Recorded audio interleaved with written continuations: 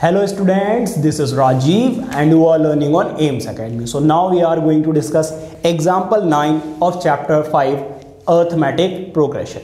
तो ये एक इंपॉर्टेंट क्वेश्चन है क्योंकि इसमें आपकी प्रीवियस क्लासेस की भी नॉलेज यूज़ की जाएगी ठीक है कैसे एक बार रीड कीजिए a sum of rupees one thousand is invested तो स्टार्टिंग अमाउंट मतलब कि प्रिंसिपल आपके पास क्या आ गया one thousand is invested at the rate is eight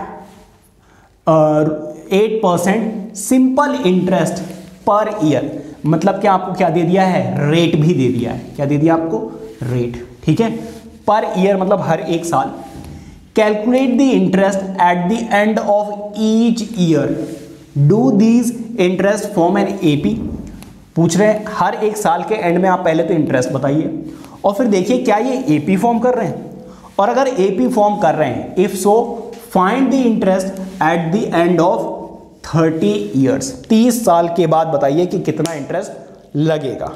ठीक है भाई? तो अब आप देखिए यहाँ पर। सिंपल सॉल्यूशन है ये। सिंपल इंटरेस्ट आफ्टर या at the end of first year एक साल के बाद कितना इंटरेस्ट लगेगा? तो which is P into R into T divided by hundred ये आपने एट्थ क्लास में एक चैप्टर पढ़ा होगा simple interest and compound interest तो सिंपल इंटरेस्ट में ये वाला फॉर्मूला था, ठीक है? पी की वैल्यू कितनी है? जरा देखिए वन थाउज़ेंड आर की वैल्यू कितनी है? एट टाइम कितना? वन फ़र्स्ट ईयर में पूछ रहे ना? अच्छा यहाँ पे थाउज़ेंड है। तो देखिए टू ज़ीरो से टू ज़ीरो कैंसिल आउट हो जाएँगे आंसर आ जाएगा एट्टी ठीक है? Simple interest at the end of second year second year के एंड में क्या होगा? देखिए पी की वैल्यू कितनी है? वन थाउज़ेंड रेट कितना है? एट परसेंट लेकिन इस बार टाइम कितना हो जाएगा? टू ईयर्स यहाँ पे वन थाउज़ेंड है। टू ज़ीरो से two zero cancel out eight two जा सिक्सटीन आंसर कितना आ जाएगा?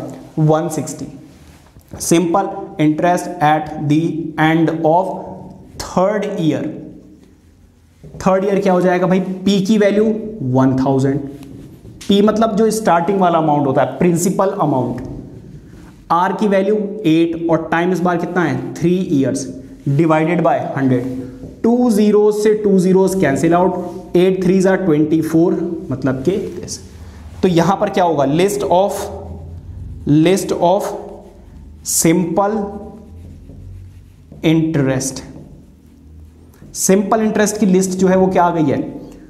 Eighty one sixty two forty and so on ऐसे ही चलता रहेगा। तो आपको देखना है D which is A two minus A one A two की वैल्यू 160 माइनस एटी आंसर आ रहा है 80 फिर से डी देखना है A three minus A two A three की वैल्यू 240 माइनस ए टू की वैल्यू 160 आंसर फिर से कितना आएगा? 80 hence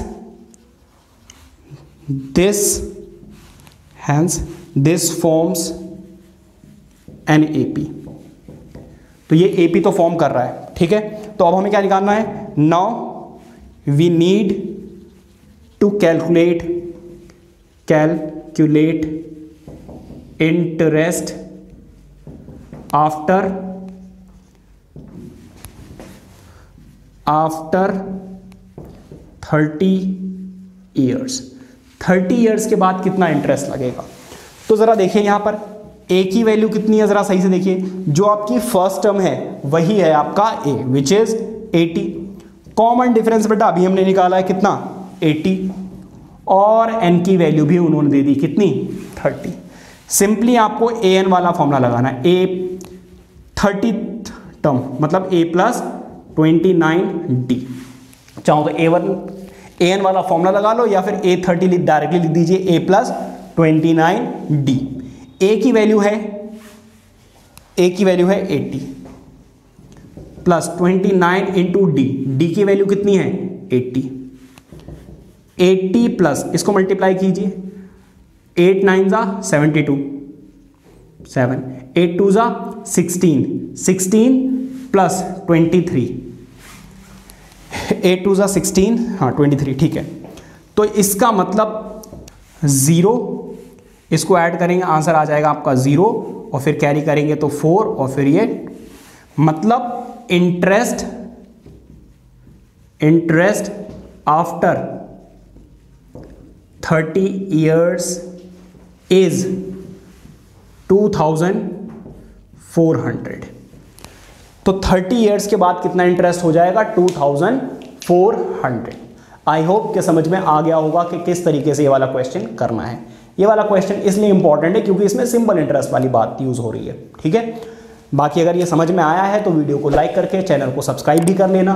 बेल आइकन को ऑन रखिए क्योंकि ऐसी ही वीडियोस मैं आपके साथ शेयर करता रहता हूँ, जो आपके बोर्ड के एग्ज़ाम में आपको बहुत हेल्प करेंगी। मिलते हैं नेक्स्ट वीडियो में नेक्स्ट एग्ज़ाम्पल के साथ. Till then take care bye bye